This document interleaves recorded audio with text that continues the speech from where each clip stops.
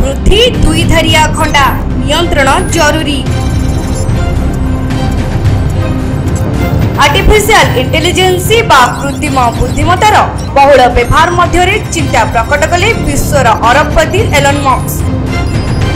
সম্প্রতি যেপরি ভাবে এআই ব্যবহার হেউচি তাহা ভবিষ্যৎ পাই বিপদ বলে চিন্তা প্রকট করেছেন মক্স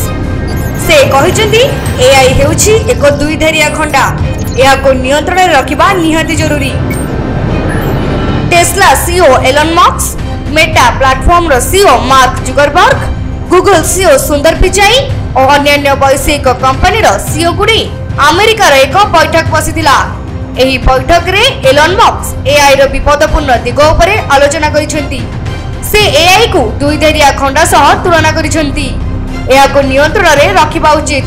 ନଚେତ୍ ସମାଜ ପାଇଁ ବିପଦ ହୋଇପାରେ ବୋଲି ମକ୍ସ କହିଛନ୍ତି ସେ ଆହୁରି କହିଛନ୍ତି ଟେକ୍ନୋଲୋଜି ଯେତେ ଅଗ୍ରଗତି କରୁଛି ବିପଦର ସମ୍ଭାବନା ସେତେ ବଢ଼ୁଛି